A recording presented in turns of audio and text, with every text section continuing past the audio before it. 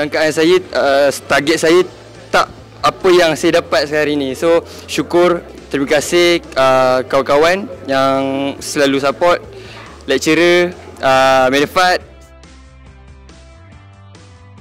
Kemudian saya banyak uh, mencuba benda baru uh, sebab saya tak pernah lagi buat konsep macam ni. So saya cuba dengan beranilah uh, ambil risiko yang tak pernah saya cuba, saya cuba.